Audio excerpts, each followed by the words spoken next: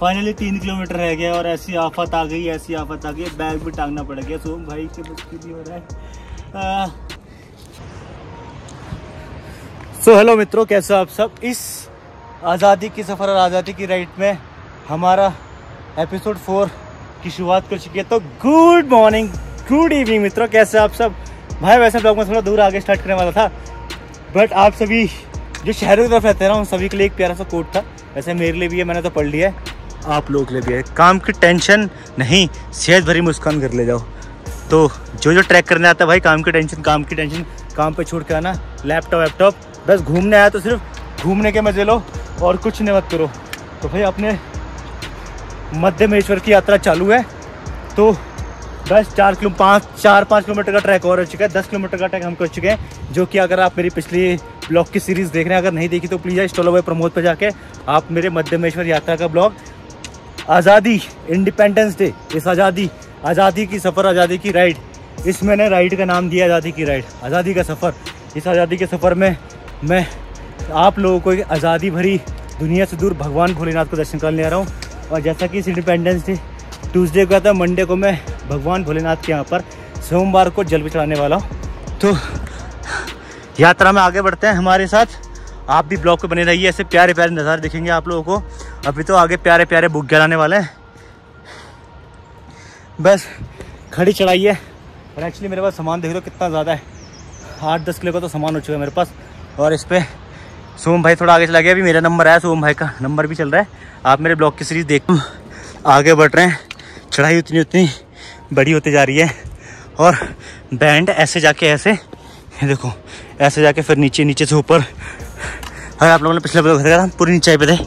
जब से कंटिन्यूस ऐसा ऐसा ऐसा ऐसा ऐसा ऐसा, zigzag zigzag zigzag हाथ जा रहा है और हम ऊपर चढ़ते हुए जा रहे हैं। और इस टाइम काफ़ी ऊंचाई पर भी आ चुके हैं। नज़ारा की हालाँकि नहीं दिख रहा है। फोक की वजह पर भगवान भोलेनाथ की असीम कृपा है। इस सफ़र में अभी तक हमें बारिश का सामना नहीं करना पड़ा है। जैसा कि आप लोगों को पता है, ये आज़ादी की राइड बाइक पर हमने स्टार्ट की थी।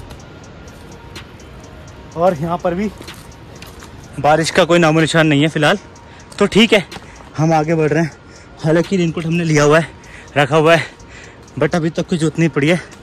और फिर ऐसे जाके फिर ऐसे चढ़ना पड़ रहा है ऊपर। काफ़ी चाय पे तो हम आ चुके हैं। और नेट एयरटेल के सिम यहाँ पे बहुत अच्छे यहाँ पे टावर हैं। तो ऐसे ऐसे चढ़ाई की सामना करते करते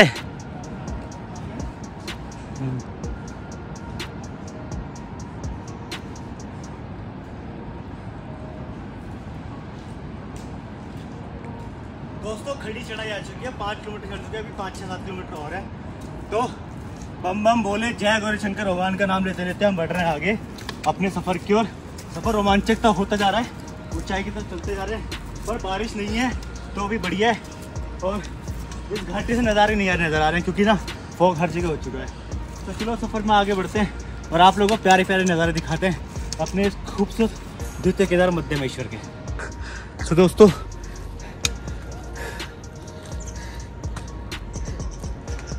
खटरा गाँव हम पहुँच चुके हैं, जो कि मेरे जस्ट सामने है मतलब भटवारी गाँव, है ना?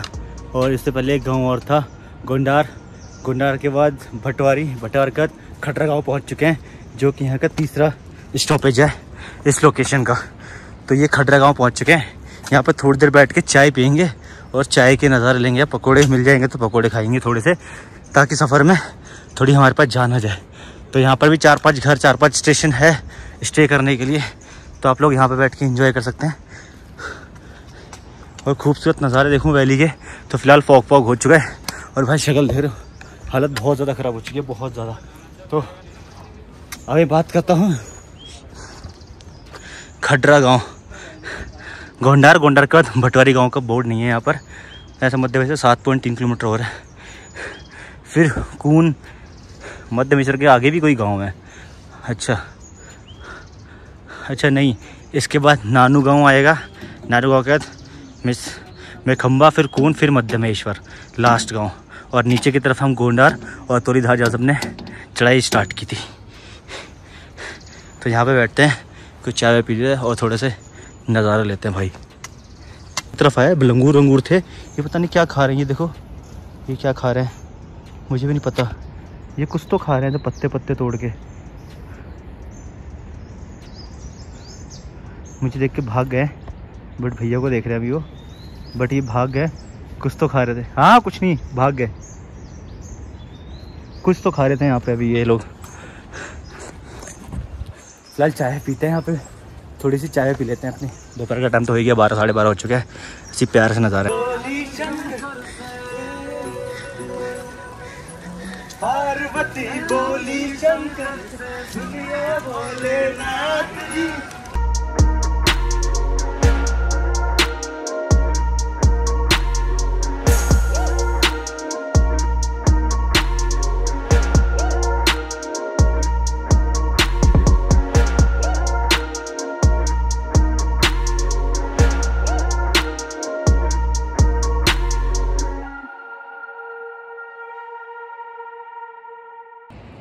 पूरी खड़ी चढ़ाई है अब स्टीप चढ़ाई चल रही है।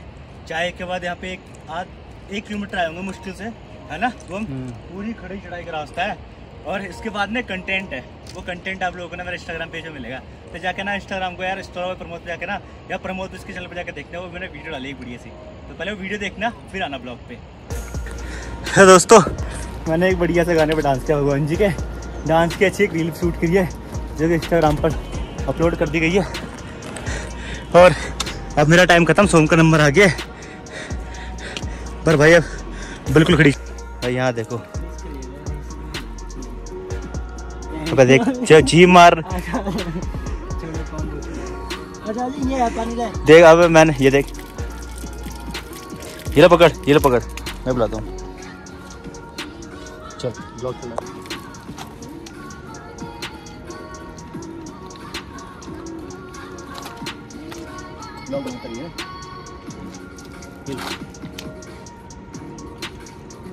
उसको प्यास लगी हुई थी वैसे। बहुत ज़्यादा।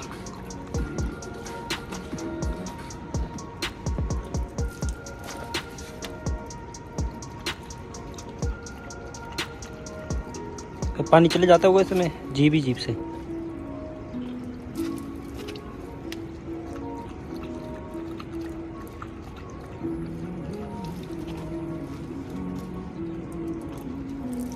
बहुत प्यास लगी बंदे को भाई।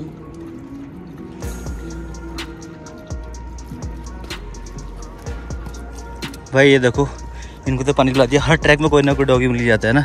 कितने, और भाई, ये देखो, कितनी प्यारी लाइन लिखी हुई है।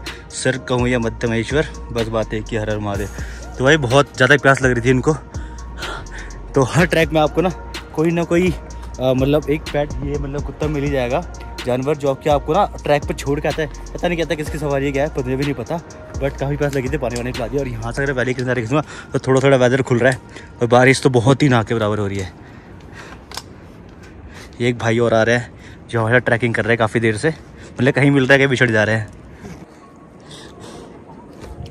भाई साहब, पूरी ज़्यादा हालत ख़राब हो चुकी है। ऑलमोस्ट दस, ग्यारह किलोमीटर, दस सब कितने बारह किलोमीटर हो गए होंगे ना? लगभग लगभग ग्यारह बारह किलोमीटर का ट्रैक हम कर चुके हैं और आज की हम फोर्थ स्टॉपेज पॉइंट पर पहुँच चुके हैं। तो जो हमारा आज का फोर्थ स्टॉप पॉइंट है, वो है हमारा नानू विलेज तो है? हाँ चलो। किधर का है रास्ता? इधर से? ये वाला? तो भाई घूमते घूमते नानू विलेज पहुँच चुके हैं। यहाँ से मैं खम्बा कुंचट्टे मध्यमेश्वर फिर लिखा नहीं है इस पे।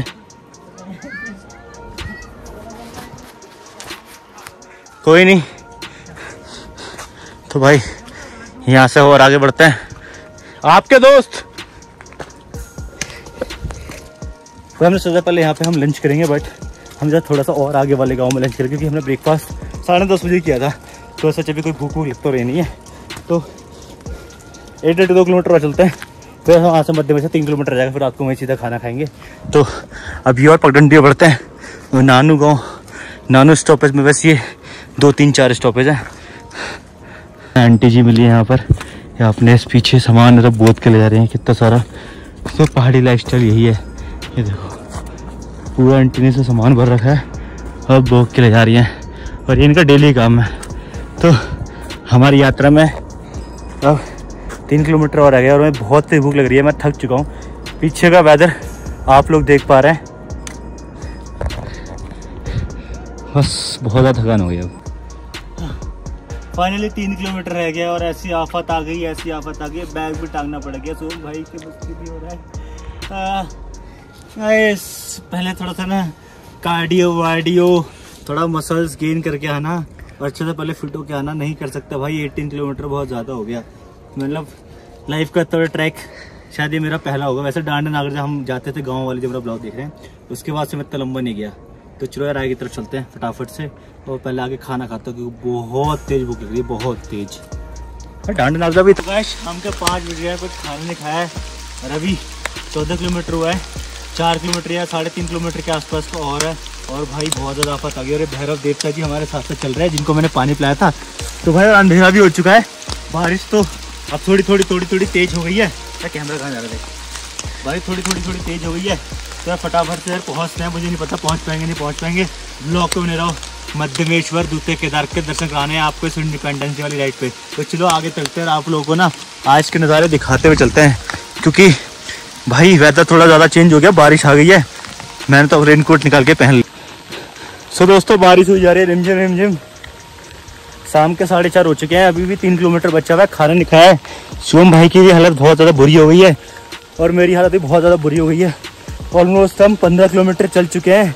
पंद्रह, साढ़े पंद्रह, तीन या दो ढाई किलोमीटर है। अभी पीछे बोर्ड पर लिखा हुआ था बट एग्जिट कितना तो जाने पता लगेगा। भोलेनाथ से मिलना है तो इतना आसान नहीं है। भोलेनाथ के दर्शन सिर्फ़ हिमालय में होता हिमालय की गोद पे जाने के लिए थोड़ी मेहनत करनी पड़ रही है। और फ़िलहाल ये जो रेन कोट लिया है मैंने जिससे। बिल्कुल वाटर प्रूफ निकला पूरे टी शर्ट और पूरा ट्राउज़र गीला हो गया है। और फ़िलहाल जा रहे हैं, मौसम तो बढ़िया है बट यार कपड़े वपड़े जूते तो सब गीले हो गए, एक छोटी छोटी शूज़ कल गीले हो गए थे। एक कलर स्लीपर लाना भूल गए। फ़िलहाल आगे बढ़ते जा रहे हैं। लेट्स सी क्या होता है। इस अपनी आज़ादी की सफ़र की राइड में इंडिपेंडेंस डे की राइड में, भगवान भोलेनाथ के दर्शन करने जा रहे हैं। तो आप लोग भी नज़ारे बने रहिए। ऐसे खूबसूरत से नज़ारे आप लोगों को देखने मिल रहे हैं। आप लोग तो आ नहीं सकते बारिश में बट मैंने आप लोगों से प्यार प्यार नज़ारों के दर्शन तो दोस्तों, अभी मध्यमेश्वर के धाम तो पहुँच गए बट यार, मैं पूरा गीला हो रखा पूरा का पूरा गीला। ये देखो तो कपड़े तो मेरे अभी नहीं आए हैं। शुभम! तो मेरे कपड़े अभी तो नहीं पहुँचे, फ़िलहाल मैं यहाँ और कहीं जगह नहीं, सब फुल हो चुका है। तो फ़िलहाल मैं यहाँ पे बैठ के आग सेक रहा हूँ, भैया जी के यहाँ पे, और थोड़ा सा अपने आप को गर्म कर रहा हूँ। ये बारिश और सुबह भाई भी आ चुका है। और यहाँ भाई जगह तो है बिल्कुल भी नहीं है मध्यमेश्वर में। वैसे ही कमरे में रोटी बन रही है, यहाँ अपने कपड़े सूंघ रहे हैं। सारे कपड़े गीले हो गए, सारे बैग वैग, सारे कपड़े वपड़े सब गीले हो चुके हैं, सारे के सारे।